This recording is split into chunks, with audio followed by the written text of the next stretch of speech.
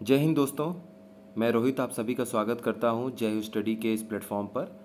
और आज हम लोग पॉलिटी में कुछ इंपॉर्टेंट आर्टिकल्स देखेंगे यूनियन एग्जीक्यूटिव यानी संघीय कार्यपालिका के बारे में। अब संघीय कार्यपालिका के बारे में कई सारे वीडियोस बनेंगे। आज हम कुछ इंपॉर्टेंट आर्टिकल्स को देख लेते हैं क्योंकि इसमें आप देखेंगे कि अनुच्छेद बावन से लेकर अठहत्तर तक के काफ़ी सारे अनुच्छेद कवर होते हैं। तो चलिए सबसे पहले शुरू करते हैं। तो सबसे पहले जब भी हम एग्जीक्यूटिव अपने कार्यपालिका के बारे में बात करेंगे तो सबसे पहले हमारे पास जो नाम या आर्टिकल याद आएगा, वो है अपने राष्ट्रपति। क्योंकि राष्ट्रपति में ही केंद्रीय संघीय कार्यपालिका की सारी शक्तियाँ निहित है। All the powers of the central government are vested in president ठीक है? तो आर्टिकल 52 यानी कि अनुच्छेद बावन, हमारे राष्ट्रपति के बारे में बताता है। तो आर्टिकल 52 कहता है कि अपने देश में राष्ट्रपति का पद है, राष्ट्रपति होने चाहिए, राष्ट्रपति हैं।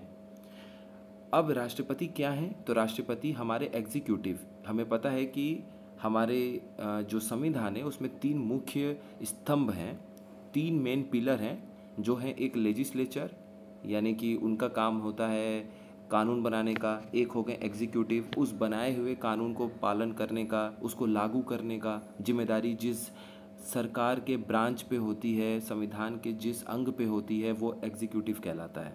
और तीसरा जो हमारा मुख्य ब्रांच है, जो हमारे संविधान ने लिखा हुआ है, वो हमारा जुडिशरी है, जिसे हम न्यायपालिका कहते हैं। तो आज हमारा फोकस एग्जीक्यूटिव पर है, यानी कि कार्यपालिका पे। अब कार्यपालिका के हेड कौन है? वो हेड हैं राष्ट्रपति। तो आर्टिकल 52 इसी के बारे में हमें बताता है कि भारत के राष्ट्रपति केंद्रीय यानी संघीय कार्यपालिका के हेड हैं, अध्यक्ष हैं। ठीक है? अच्छा अब राष्ट्रपति से हमारी शुरुआत होती है। अगला आर्टिकल आता है आर्टिकल 53 यानी कि अनुच्छेद तिरपन। अब आर्टिकल 53 क्या बोलता है? आर्टिकल 53 हमें ये जानकारी देता है कि केंद्र सरकार, संघीय कार्यपालिका की जो ताकत है, जिसका अभी हमने ज़िक्र किया था वो कहाँ निहित है, कहाँ वेस्टेड है, वो है राष्ट्रपति में वेस्टेड है। यानी कि executive power of union is vested in president ठीक है? तो संघ की कार्यपालिका जो शक्ति है, वो राष्ट्रपति के अंदर है। राष्ट्रपति को उनके पास हमारे पावर है और हम उसी से सारा काम देख रेख कर रहे हैं। उन्हीं को हेड बनाकर हम सारा काम कर रहे हैं। अब राष्ट्रपति ये काम कैसे करेंगे? ठीक? तो राष्ट्रपति या तो खुद उस काम को देखेंगे या तो ऑफिसर्स वो अधिकारी, वो लोग जो उनके सबऑर्डिनेट हैं, यानी कि जो उनके रैंक के नीचे माने गए हैं, वो उस कार्य को उनके बिहाफ पे, यानी राष्ट्रपति मौजूद हैं, राष्ट्रपति खुद वो काम को नहीं कर रहे हैं, लेकिन राष्ट्रपति के नाम पर कोई और उस काम को देख रहा है। और फाइनल जो मोहर है, वो राष्ट्रपति जी का लग रहा है। तो ये काम केंद्र सरकार कर रही है। ठीक है? तो आर्टिकल 53 इसी के बारे में जानकारी देता है। एक जानकारी और हमें देता है कि हमारी जो तीनों सेनाएँ हैं एयरफोर्स हमारी आर्मी हमारी नेवी इन सभी का सुप्रीम कमांडर मतलब सबसे हेड कौन है? वो सुप्रीम कमांडर कोई और नहीं, वो हैं अपने राष्ट्रपति। ठीक है? तो ये दो जानकारी हमें आर्टिकल 53 से मिलती है। आगे बढ़ते हैं। आर्टिकल 54 आर्टिकल 54 अनुच्छेद चौवन को आप देखेंगे तो इसमें बात की गई है कि अब राष्ट्रपति को चुनने की बात की गई है कि वो कैसे चुने जाएँगे, उनको कौन चुनेगा। देखिए, जब भी हमारे यहाँ चुनाव होता है, विधायक के लिए, सांसद के लिए तो उनको चुनने का काम तो हम और आप करते हैं, ठीक है? वो वो सीधा सीधा, सीधे चुनाव का एक प्रक्रिया है, एक हिस्सा है तो इसीलिए उसको डायरेक्ट इलेक्शन का पार्ट का कह दिया जाता है। लेकिन राष्ट्रपति का चुनाव में हम और आप जाके वोट नहीं देते हैं। हमारे द्वारा चुने गए प्रतिनिधि राष्ट्रपति को वोट देते हैं। तो जो हमारे द्वारा चुने गए प्रतिनिधि हैं इलेक्टेड मेंबर्स हैं, चाहे वो सांसद हो, यानी कि इलेक्टेड एम हो, चाहे वो हमारे द्वारा चुने गए विधायक हो इलेक्टेड एम हो, ये दोनों लोग ये जो इन लोगों को मिलाकर जो ये एक नई मतदाता सूची तैयार की गई कि ये हैं मतदाता जो अब राष्ट्रपति को चुनेंगे, वो हमारा कहलाता है इलेक्टोरल कॉलेज यानी निर्वाचक गण। निर्वाचन करने वाले गण चुनने वाले लोग निर्वाचक गण। अच्छा तो इसमें कौन कौन से विधायक और सांसद आएँगे? क्या इसमें आ, हमारे जैसे उत्तर प्रदेश में दो हाउस होते हैं लेजिस्लेटिव काउंसिल होता है विधानमंडल और एक विधानसभा लेजिस्लेटिव असेंबली तो क्या ये दोनों ही आ, विधायक चुनेंगे? राष्ट्रपति के चुनाव में शामिल होंगे? नहीं। वो विधायक और वो सांसद जो हमारे द्वारा सीधे सीधे चुने गए हैं सिर्फ़ उनकी ज़िम्मेदारी होगी राष्ट्रपति को चुनने की। ठीक है, यहाँ तक बात समझ में आती है। तो इसका मतलब हो गया कि जब भी चुनाव होगा राष्ट्रपति का तो उसमें अपने उत्तर प्रदेश के विधायक लोग तो हिस्सा उसमें पार्टिसिपेट करेंगे, वो तो उनका हिस्सा होंगे। लेकिन विधानमंडल लेजिस्लेटिव काउंसिल के जो विधायक लोग हैं, वो उनका हिस्सा नहीं होंगे, क्योंकि हमने उन्हें सीधा सीधा नहीं चुना है डायरेक्ट इलेक्शन में नहीं आए थे वो। यानी M of legislative Uttar Pradesh legislative councils are not a part of an electoral college who will elect the president और रीज़न क्या है? कारण इसका यही है since they are not a part of the direct election चूँकि वो सीधा सीधा चुनाव के हिस्सा नहीं थे। अच्छा इसमें दो और बात ध्यान देने वाली बात यह है कि एक आपका हो गया दिल्ली का विधानसभा और एक हो गया आपका पुडुचेरी का विधानसभा। चूँकि यहाँ पे सीधे सीधे चुनाव होते हैं, सरकार बनती है तो इनके विधायक भी उसमें हिस्सा लेंगे, जैसा कि सीधा सीधा आर्टिकल 54 में बोला गया है। चलिए, अब अगले आर्टिकल पर आते हैं, आर्टिकल 56 आर्टिकल 56 को ध्यान से देखेंगे तो उसमें बताया गया है कि आपने राष्ट्रपति को तो चुन लिया। अब राष्ट्रपति को चुनने के बाद उनके ऑफ़िस में समय बिताने की बारी आ गई, अब उनके कार्य की बारी आ गई। तो जो टेन्योर है, यानी कि जो पदावधि है, पदावधि मतलब उनके पद की अवधि, दीर्घ संधि हो गया, पद प्लस अवधि, पदावधि। तो इसमें जो उनकी पद की अवधि है कि वो कितने साल तक रहेंगे? क्या वो चार साल के लिए रहेंगे छः साल के लिए रहेंगे? नहीं। उनका टेन्योर बोला गया है कि राष्ट्रपति जिस दिन अपने ऑफ़िस में जाएँगे, वहाँ से पाँच साल के लिए अपने ऑफ़िस में रहेंगे। तो मान लीजिए कि एक फरवरी 2023 को राष्ट्रपति शपथ ग्रहण लेके अपने ऑफ़िस में कार्यभार संभालते हैं। तो एक फरवरी 2023 से जो अगला पाँच साल है, एक फरवरी 2028 वहाँ तक राष्ट्रपति को माना जाएगा कि इन पाँच सालों के लिए आपको हमने चुना है। ठीक है, ध्यान देने वाली बात रहती है कि कौन से पाँच साल को चुना गया है? क्या वो पाँच साल उनके चुनाव की डेट से जोड़ा गया है कि बीस जनवरी को पता चला कि राष्ट्रपति जी को हमने मतलब फाइनली मान लीजिए कि 20 जनवरी को रिज़ल्ट आता है कि राष्ट्रपति जी चुन लिए गए हैं तो क्या 20 जनवरी से ही काउंटिंग स्टार्ट हो जाएगी उनके पाँच साल के लिए? नहीं। जिस दिन वो पहले दिन कदम रखेंगे ऑफ़िस में, वो पाँच साल वहाँ से जोड़े जाएँगे। ठीक है? फिर इसमें, इस आर्टिकल में और भी जानकारी दी गई है कि राष्ट्रपति जी अपना जो रेजिग्नेशन है, जो त्याग पत्र है, वो किसको सौंपेंगे? तो वो सौंपेंगे वाइस प्रेसिडेंट को, उपराष्ट्रपति को। ठीक है? यहाँ तक बात समझ में आती है। अच्छा ऑफ़िस में से, वैसे हम इस पर बाद में भी चर्चा करेंगे, लेकिन अगर राष्ट्रपति जी को ऑफ़िस से हटाया गया या हटाया जाना है तो वो किस विधि, किस प्रोसेस के थ्रू होगा ऐसा? तो देखिए आर्टिकल 61 अनुच्छेद इकसठ इस पर बोलता है कि राष्ट्रपति जी सिर्फ़ एक ग्राउंड सिर्फ़ एक ऐसा आपका कारण बनता है कि राष्ट्रपति जी को वहाँ से हटाया जा सकता है उनके पद से। और वो क्या है? वो है violation of the constitution violation of the constitution का मतलब क्या हो गया? कुछ ऐसा लग रहा है कि संविधान का दुरुपयोग कर रहे हैं या हनन कर रहे हैं? बिल्कुल सही। संविधान का अगर वो हनन करते हैं, संविधान, बस इसी एक वर्ड लाइन को, एक छोटी सी लाइन को लिखा गया कि वायलेशन ऑफ़ द कॉन्स्टिट्यूशन अगर राष्ट्रपति जी संविधान का हनन करते हैं, उनकी ताकत का दुरुपयोग कर रहे हैं अपने पद पे तो उनको उनके पद से हटाया जा सकता है। उसके लिए आपको महाभियोग चलाना पड़ेगा, जिसको इम्पीचमेंट कहते हैं। अच्छा ये वायलेशन ऑफ़ द कॉन्स्टिट्यूशन जो है, क्या इसको डिफाइन किया गया है? क्या बताया गया है कि राष्ट्रपति जी ऐसा क्या क्या करेंगे? तो उससे हमें ये पता चलेगा कि अच्छा राष्ट्रपति जी ने तो संविधान का हनन कर दिया है। जी नहीं। राष्ट्रपति जी ने ऐसा, राष्ट्रपति जी ऐसा क्या करेंगे कि हमें ये बात पता चलेगी? ऐसा संविधान में नहीं लिखा गया है।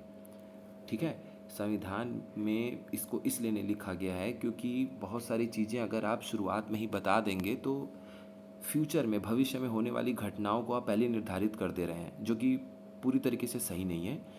समय समय पे आने वाली पीढ़ियों पे जो बुद्धिजीवी वर्ग वहाँ तक उस पद तक पहुँचेंगे जो मंत्री बनेंगे जो जो जज बनेंगे तो उनके बुद्धिमता उनके विजडम पे ये बात छोड़ देनी चाहिए कि आखिर वो लोग आ, क्या समझते हैं कि राष्ट्रपति जी ने ऐसा किया है कि उनको उनके पद से हटा देना चाहिए।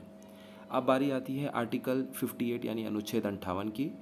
इसमें बोला गया है कि राष्ट्रपति जी जो हैं अच्छा चलिए इस आर्टिकल 58 को एक बार बताने से पहले ये बता दें कि अगर राष्ट्रपति जी को अब बात उठी गई तो उसको समझा देते हैं आपको कि इम्पीचमेंट हो रहा है राष्ट्रपति जी का। तो उनको हटाने का तरीका क्या है? तो उनको हटाने का तरीका ये है कि जिस भी हाउस को, लोकसभा या राज्यसभा में सांसदों को लगता है कि नहीं, राष्ट्रपति जी अपने पद का दुरुपयोग कर रहे हैं, संसद का हनन कर मतलब माफ़ करिएगा, संविधान का हनन कर रहे हैं और इसलिए अब उनको उनके पद से हटाया जाना बहुत ज़रूरी हो गया है तो वो चौदह दिन पहले एक नोटिस जारी करेंगे, एक नोटिस देंगे अपने हाउस के हेड को। जैसे मान लीजिए वो चेयरमैन हैं या डिप्टी चेयरमैन है जो उस समय हाउस को संभाल रहे होंगे और जो लोकसभा है, उसमें मान लीजिए स्पीकर या डिप्टी स्पीकर होंगे तो उस समय जो है ये आ, ये सांसद लोग जाके उनको नोटिस देंगे चौदह दिन पहले देना पड़ेगा। तो मान लीजिए कि अगर आप चाहते हैं कि राष्ट्रपति जी को हटाने का महाभियोग का जो प्रक्रिया है जो प्रोसेस है या जो रिजोल्यूशन है वो शुरू होना चाहिए चौदह फरवरी से तो एक फरवरी को राष्ट्रपति तो राष्ट्रपति जी को हटाने का जो नोटिस है वो एक फरवरी को उनके हाउस के हेड के पास ये चली जानी चाहिए कि सर हमें हटाना है राष्ट्रपति जी को। चलिए ठीक है तो चौदह दिन बाद का जो नोटिस है वो फिर चौदह दिन के बाद से स्टार्ट होगा प्रक्रिया तो चौदह फरवरी से मान लीजिए फिर शुरू हो जाएगा कि चलो ठीक है, राष्ट्रपति जी को हटाने की प्रक्रिया शुरू होती है। अच्छा ये तो आपका हो गया आर्टिकल सिक्सटी वन इकसठ में जो बात हो रही है। उसके बाद फिर क्या होगा? उसके बाद ये होगा कि मान लीजिए लोकसभा में कुछ सांसदों ने शुरुआत किया तो उसमें नियम ये बनाया गया है कि कम से कम एक चौथाई मेंबर यानी 25 परसेंट लोकसभा के मेंबर्स ये नोटिस लेके पहुँचने चाहिए। अपने स्पीकर या अपने स्पीकर के पास में लोकसभा की बात हो रही है तो कि स्पीकर महोदया महोदया, हमें राष्ट्रपति को हटाने की प्रक्रिया शुरू करनी है।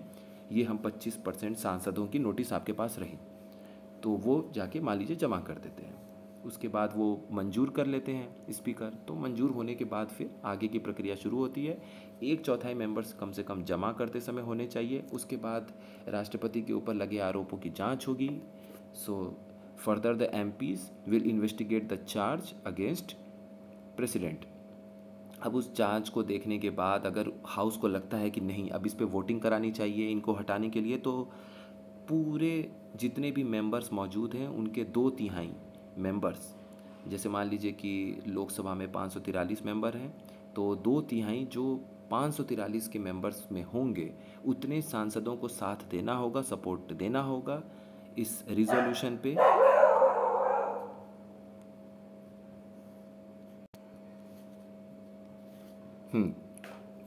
तो जो दो तिहाई मेंबर्स होंगे, उनको सपोर्ट देना होगा, ठीक है? और अगर वो सपोर्ट कर देते हैं तो लोकसभा से ये नोटिस पारित हो जाएगी, पारित हो जाएगी। और जैसे ही वो पास होगा लोकसभा से, फिर वो राज्यसभा के पास जाएगा। राज्यसभा भी फिर उसी तरीके से लोकसभा की तरह उसका जाँच करेगा।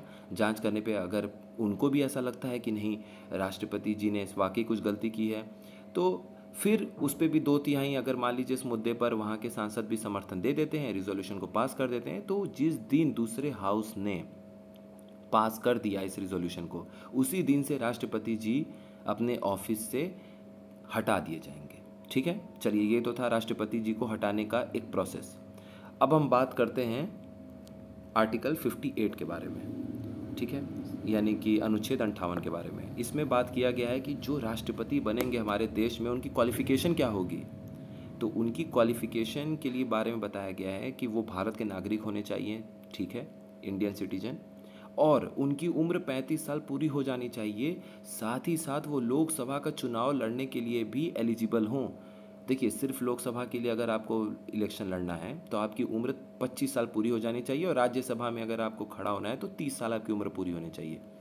तो कभी कभी कुछ लोगों को ये कन्फ्यूज़न होता है कि अच्छा अगर 25 साल लोकसभा के लिए पूरी हो जानी चाहिए और लोकसभा का एलिजिबिलिटी इसमें लिखा हुआ है तो इसका मतलब कि 25 साल पूरा हो गया तो राष्ट्रपति जी हो सकता है। अगर वो एग्ज़ाम में कन्फ्यूज़ होते हैं तो होता है अच्छा तो 25 साल हो सकता है कि राष्ट्रपति जी का मिनिमम एज हो। नहीं। पैंतीस साल मिनिमम एज होनी चाहिए, साथ ही साथ लोकसभा का चुनाव लड़ने के लिए भी एलिजिबल होने चाहिए। अच्छा चलिए, अब आप देखते हैं आगे की बात।